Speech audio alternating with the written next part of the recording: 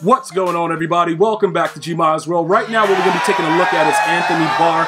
I've already showed you some gameplay of when we added him. Now we're going to actually go ahead and see what he can do and just look, you know, regular gameplay, see exactly what he's all about. One of the things that I wanted to point out, though, I want to make sure you guys understand, if you are going to utilize Anthony Barr as a pass rusher, he should be a guy that you put abilities on and that is activated. Unfortunately, with his pass rushing chems, he's not suitable enough with those low finesse and low power moves to just go out there and do whatever. And I know a lot of you guys like, yeah, Jemai, he gets 99 block shed. Doesn't matter. That power move and finesse move is really, really low. So that'll cause a lot of problems for our blitzes that we run. And if he's not able to get those initial moves off, it definitely will show and impact the way that your players play. Because the objective of it is, is to make sure that their moves gets other players involved if they can't get right off and run right in. All right, so I just wanted to point that out because some of you guys were saying, you know, you tried him out, you know, you know, what, what do I think about him? Um, you guys think he's garbage, but it's not that he's trash. It's just that without abilities, he's not going to be able to do anything. But the other players, like the Brian Burns and these guys, they have suitable pass rushing chems. Okay, 99 finesse move is no, you know, that's that's really really good. So you can get away with that when you run blitzes like the way that I do it. When you start sending a ridiculous amount of people, it's always smart to make sure that those guys have the right chems on them. So with Anthony Barr, I would just suggest that you make sure he's a guy that has abilities. I know he only has 96 speed. I'm aware of that. Who did he just throw like that? Is that Night Train? He just punched Night Train right in the face. I didn't even notice that that happened before. All right, so now that that's been said, we're going to go and just start to see what's going on with this actual gameplay right here and take a look at some of the things that I know you guys are going to be paying attention to. Now, you can see that Anthony Barr, he's getting blocked. I want you guys to look on the left side. He's on the left side of the screen uh, with the white X on him right now. You'll see that in some cases he will get blocked, but his attention that's drawn causes other people to come in and do whatever. Now, he's just going to be able to go ahead and grab that and outrun uh, er, uh, ED right quick. Yeah, go ahead, hop around too. Do whatever you want. He like it's something about his card, and you guys know EA Sports likes certain cards, and those cards are gonna play out of their mind no matter what. Anthony Barr is one of those cards. Sean uh, Sean Taylor is another one. Michael Vick is another one. Um, you know, certain cards that are just like real OP no matter what's going on. The problem is, we OG Madden players, he used to be our user.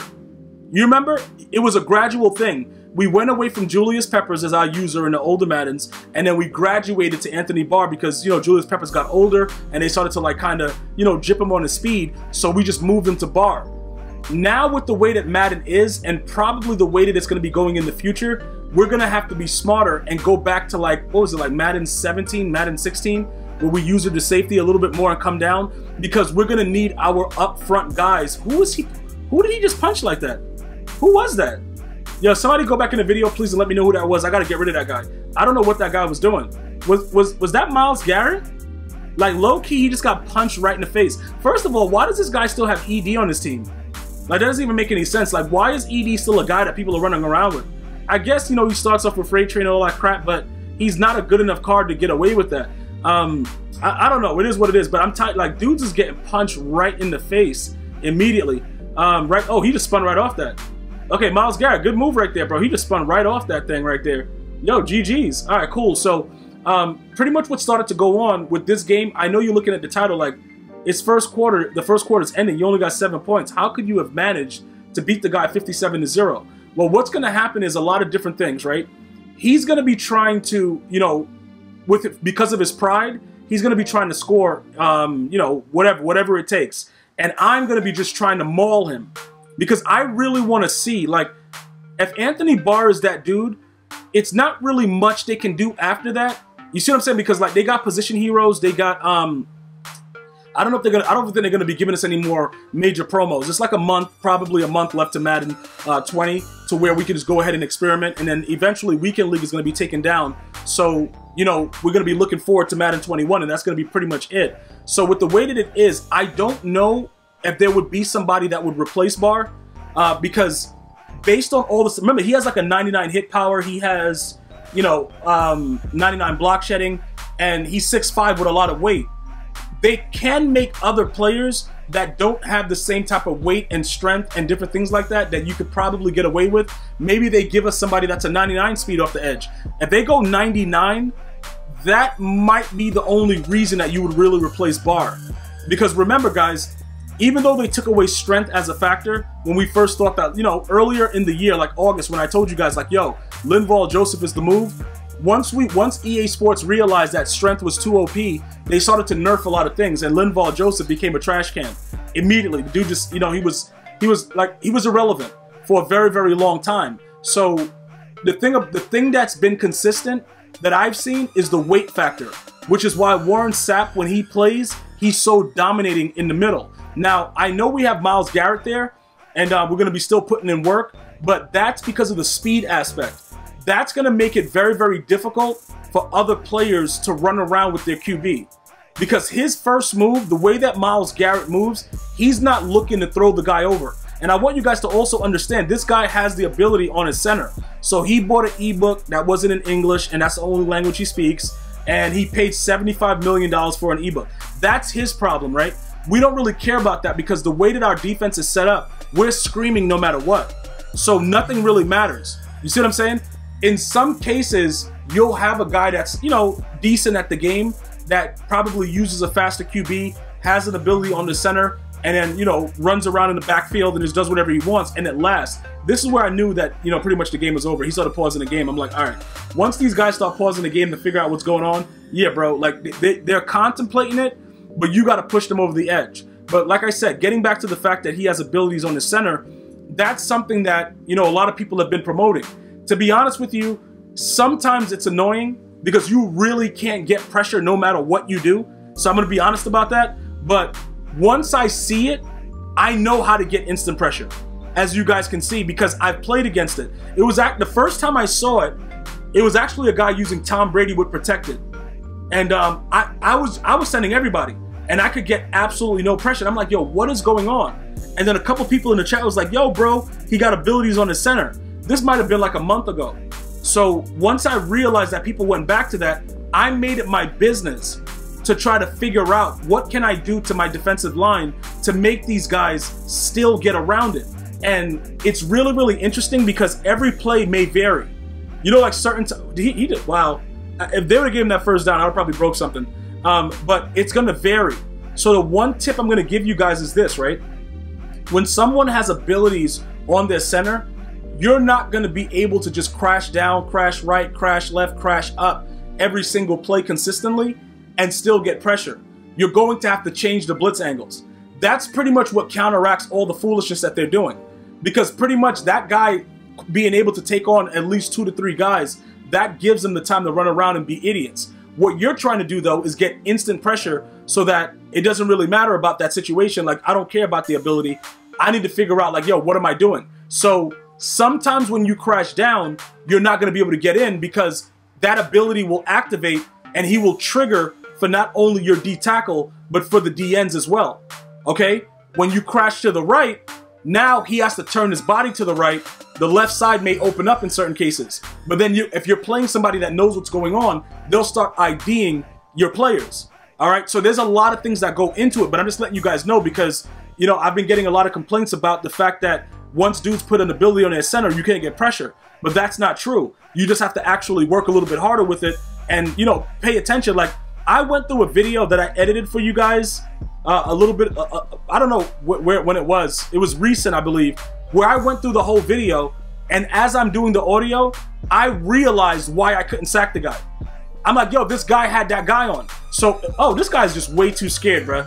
This guy is way too scared, man. Like, okay, yeah, he's spinning right off of him. Great. Um, so sometimes I give you guys that. It's you, you just don't notice it because you're like, all right, whatever. I'm just playing, whatever. But I need you guys to pay attention to that. It is very, very important that you guys pay attention to that because that changes everything.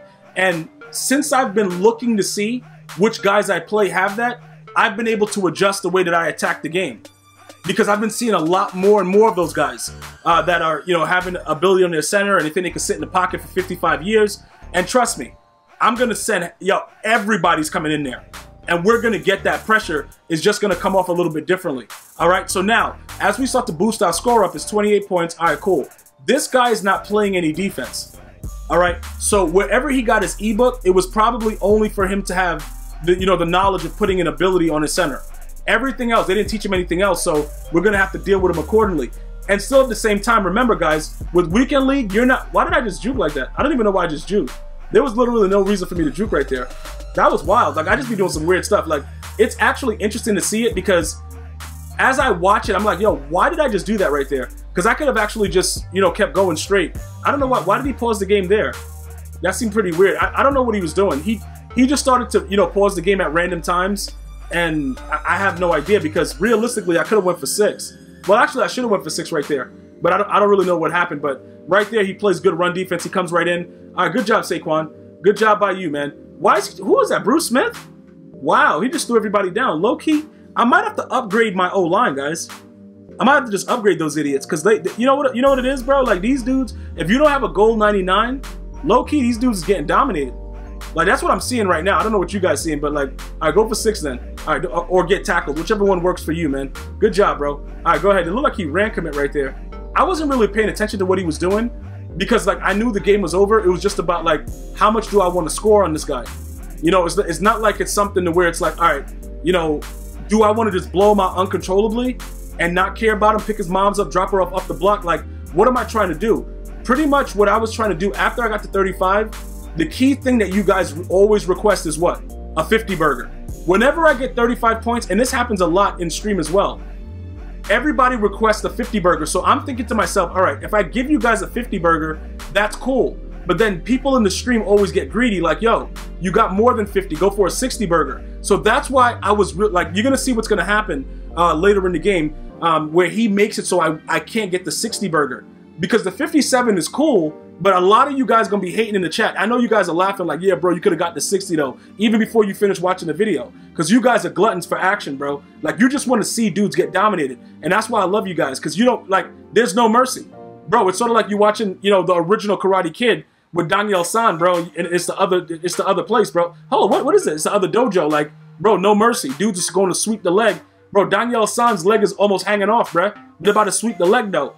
That's the way you guys like it, and I have no problem with that. For some of my younger viewers, no. Jalen, Jaden Smith or Jalen, whatever, Jaden Smith, he is not the real Karate Kid.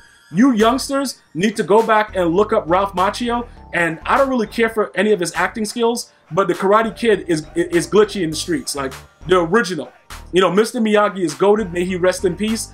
I, you, you guys got to know about originality. That uh, look, I watched like two minutes of that new Karate Kid with uh, Jaden, whatever his name is. That it was one of the most horrific experiences of my life. Yeah, go ahead, throw me the pick. All right, whatever, it doesn't matter. It, it's cool, man. It's cool. Go ahead, throw it right there too. Yep. I got double coverage on him. It doesn't matter. Throw it anywhere. Yeah, run around. Do that. Like, this dude, man, just quit the game, dude. Like, if, if that's to be your offense, like, you already know that you have no choice, but you're to get this. Oh, all right, yeah, that was, that was too easy. That was too easy right there. All right, so look, pretty much right there, you're gonna see we have 57. So now I'm saying to myself, 60 burger, 60 burger. If I don't get the 60 burger, dudes are gonna be like, all right, G-Mod, you, you know, pretty much like what you doing out here, dog? Like, you really set tripping. And I don't want my Cali dudes to think that I ever set trip. Because once you set trip, they ain't no coming back. Like, I'm not a mark, bro. Like, I'm not going to trip. I know I got to get 60 and it got to be 60 zip. What the? Bro, this dude is scared, man. This dude is scared. Like, look, look at this guy. I don't even know what he's doing. Yo, I have no idea what this guy is doing, but I got to give him a lot of credit. He didn't quit the game. You know, he paused it a few times. Right there, I dropped on the ground because if I would have got 63, then or 64, you guys would have wanted a 70 burger. And I was like, you know what? Let me just get you guys a 60 burger. It'll be, you know, even and that'll be it. He knew what I was trying to do. So he runs off sides. And obviously, when you accept the penalty, the clock still rolls. I wasn't looking at the clock. So it's like, all right, it is what it is. And, you know, he's going to pretty much get away with just a 57 to 0. So it is what it is, guys. I know you guys are like, yo, bro, yo, what, what's up with you, dog? You didn't get the, you know, you didn't get the 60 burger. I did the best I could, guys. Let me know what you're thinking about that Anthony Barr. Uh, and also, who did you choose for your free golden ticket? I'll get back to you guys with mine. I'm going to see you guys and girls next time. One love, y'all.